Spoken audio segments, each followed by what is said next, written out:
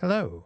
In this video, we will go over session setup and audio routing in Pro Tools when using DTS Creator. In this example, the session is broken up into three units. There's dialogue, including a bed and eight objects, music, with its bed and eight objects, and effects, including objects and some multi-channel objects. On this end, there are several aux tracks set up with DTS Creator renderer input plugins. Before we start routing audio, let's have a look at the I.O. page. There are two 8-channel paths for monitoring the output of the DTS renderer, some metering paths, and this 712 path named DTS. This path is used to ensure delay compensation can do its job. Next are the object input paths. Let's route the output for our DTS monitoring.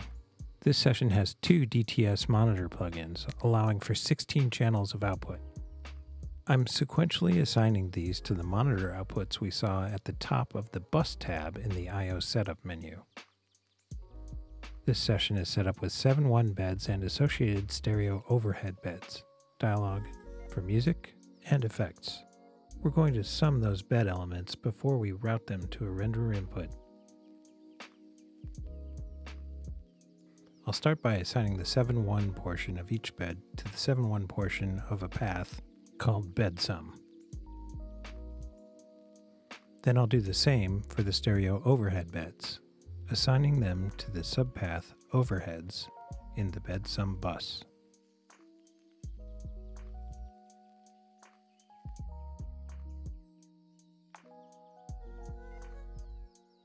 Now we can collect that bedsum path and get it into the DTS Creator renderer using some aux input tracks.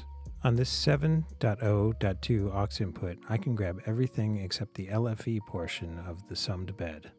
Then the LFE can come in on a corresponding mono aux input. In this example, the LFE channel has been separated out, so a low pass filter can be inserted on the track. Now that the bed has been summed, let's send it to the renderer input.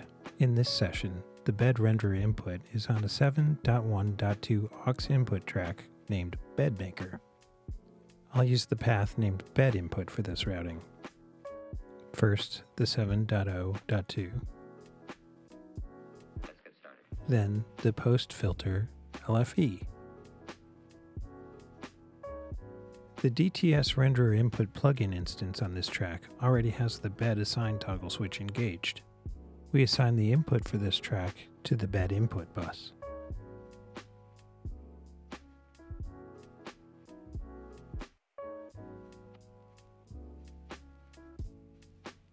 Now we have a continuous audio path from the beds to the bed summer to the DTS renderer input. Now let's assign our objects. We'll sequentially assign the first eight objects, dialog 1 through 8, to object input 1, objects 1 through 8.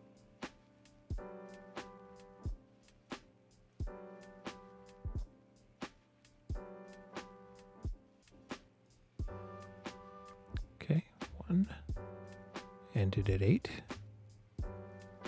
Music objects will start at 9. We'll sequentially assign all those.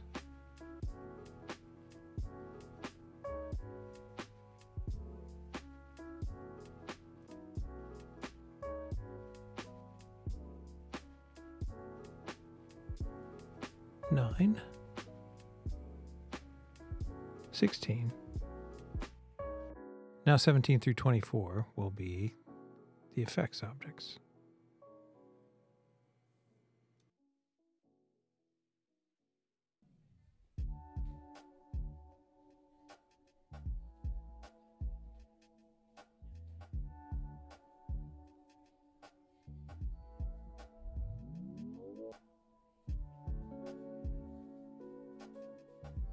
These last three effects tracks are multi-channel.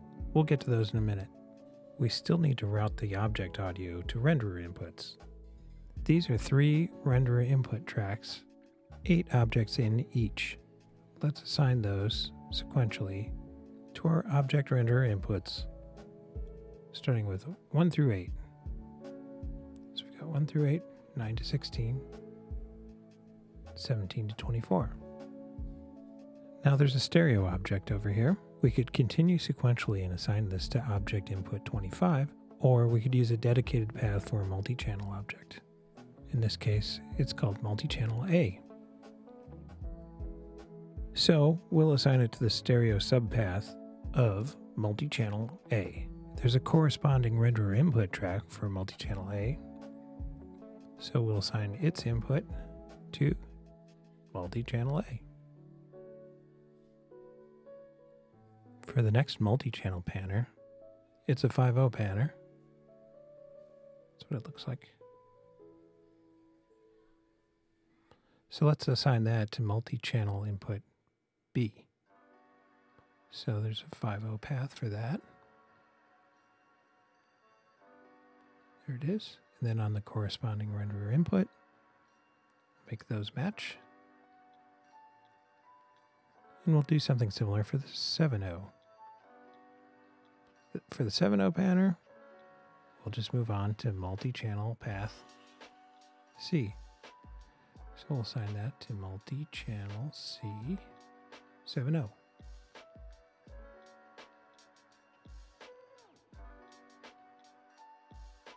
and the corresponding multi-channel C70 on this render input. For delay compensation to calculate correctly, all tracks with renderer input plugins need to be routed to the same bus. For that, I'm using the path that we called DTS. There are seven renderer input tracks in this session. We'll make sure they're all going to that same path. Walking through this, it seems like a lot of routing, but once you have a template that works for you, most of the routing will never change. A session much like this is included with the installation of the plugin set. That same DTS path needs to be assigned as the input path for any track that has a DTS monitor plugin. We'll go over plugin delay compensation in another tutorial. The hardware selection in the DTS Creator settings window can also affect delay compensation. It's important to go to the settings menu on a DTS Creator plugin to ensure it's set to the correct hardware type. Another good practice is to make sure that your playback engine is set to 1024 samples. When you go to export a file, you'll get a reminder if you forgot to change this setting. This concludes the video, Audio Routing for DTS Creator.